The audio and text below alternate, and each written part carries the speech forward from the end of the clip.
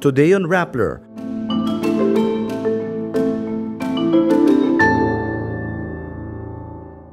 House Speaker Martin Romualdez leaves it up to the President to certify the Maharlika bill as urgent. Journalist Frank Cimatu finds support from watchdogs and fellow journalists after his cyber libel conviction. U.S. President Joe Biden signs the Respect for Marriage Act into law. Football giant Lionel Messi confirms he will play his last World Cup game at Argentina's finals game. Supporters, friends, and kin say a tearful goodbye to singer Jovit Baldivino. Spider-Man meets other spider people across the multiverse in the trailer of the Spider-Man Across the Spider-Verse. And the series on Prince Harry and Meghan racked up more viewing time than any other Netflix documentary during its first week. House Speaker Martin Romualdez says certifying the controversial Maharlika Investment Fund as urgent legislation will be up to his cousin, President Ferdinand Marcos Jr.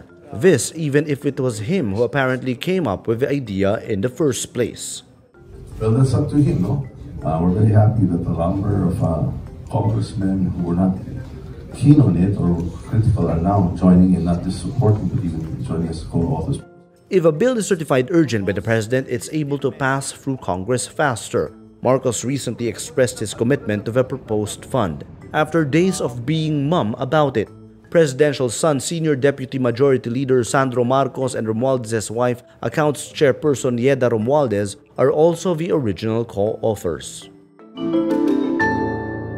Baguio City journalist and Rappler stringer Frank Cimatu finds support from watchdogs and fellow journalists following his cyber libel conviction.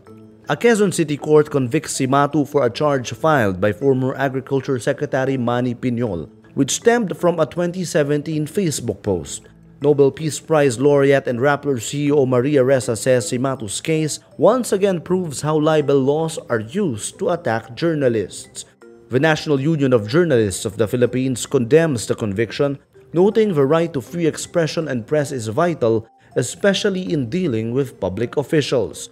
AlterMidya Network says Cimatu's conviction amplifies the culture of impunity against journalists in the country. NGO Human Rights Watch also expresses concern over Cimatu's case and says libel with criminal offense is an assault to democracy. The lower court's decision on Cimatu's case can still be appealed. The court sets the jail time for Cimatu to a maximum of 5 years and orders him to pay 300,000 pesos for moral damages. US President Joe Biden signs the Respect for Marriage Act into law on Tuesday, December 13 at a jubilant celebration that featured US singer Cyndi Lauper performing True Colors in front of thousands of supporters on the White House lawn. The new law provides federal recognition to same-sex marriages. United States House Speaker Nancy Pelosi, Vice President Kamala Harris, and Biden all delivered speeches at the ceremony before the signing. Marriage is a simple proposition. Who do you love? It's not more complicated than that. And the law recognizes that everyone should have the right to answer those questions for themselves. The event features performances by pop icons Lauper and British singer Sam Smith. The creation of a Respect for Marriage Act comes out of concern the Supreme Court could reverse its legal support of such relationships. Football giant Lionel Messi confirms he will play his last World Cup game when Argentina takes on France or Morocco in the final on Sunday, December 18 in Qatar.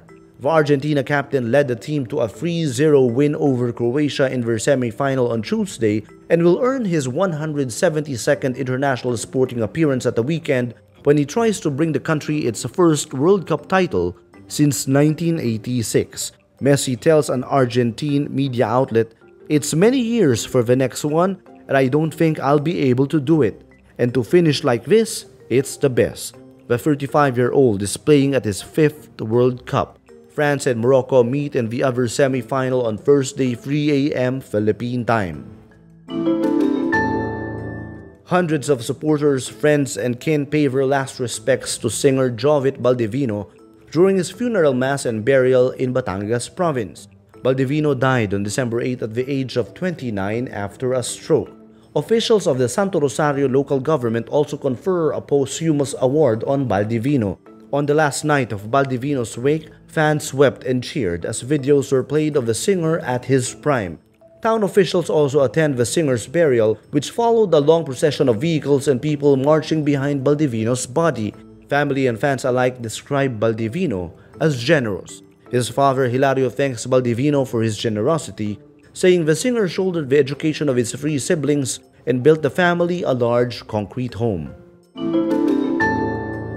Miles Morales is in for one huge adventure with Sony Pictures Entertainment releasing a new trailer for Spider-Man Across the Spider-Verse. The two and a half minute clip shows Miles reuniting with Gwen Stacy on a trip through the multiverse where they discover more spider people. The duo come across new faces, including Issa Rae's Spider-Woman. Near the end of the video, Miles is also seen fighting Spider-Man 2099 Miguel O'Hara played by Oscar Isaac. According to its official synopsis, Spider-Man Across the Spider-Verse will see, quote, Spider-Man across the multiverse to join forces with Gwen Stacy and a new team of spider people to face off with a villain more powerful than anything they have encountered. Spider-Man Across the Spider-Verse Part 1, the first of a two-part sequel, is set to hit theaters in June 2023.